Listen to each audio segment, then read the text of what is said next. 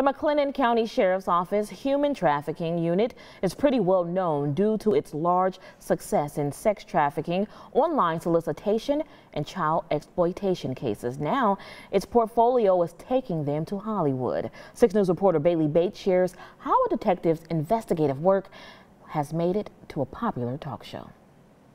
Detective Joseph Scaramucci with the McLennan County Sheriff's Office recently received a questionable message. If you'd be interested in coming on Dr. Phil, can you give me a call at this phone number? And I kind of was wondering if it was like a scam at first. You know, it's kind of unusual. But this time it wasn't a scam or someone he would later arrest. The detective is really going to be a guest on the Dr. Phil show. The show itself was pretty neat. I mean, it was fast, you know, obviously a, a, hustle and bustle. Already recorded in LA and ready for air, the detective got to share what he knows best. Talking through like how we can prevent that, how we can, um, you know, hold more perpetrators of trafficking and child exploitation accountable, but then also, you know, how best to protect our children from even getting in that position to begin with. The hot button topic is an urgency for Scaramucci, and he says being on Dr. Phil helps get the message out to a larger crowd. Hopefully it'll it'll create dialogue where, you know, parents can kind of follow up with what's going on with their kids and be more aware of what's going on with their kids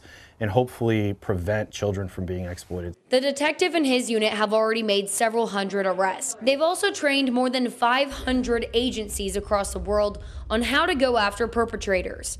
And he's not slowing down anytime soon. The fact that there are people out there trying to exploit human beings that are constantly dodging law enforcement pushes me to want to try harder to find them. In Waco, Bailey Bates, 6 News.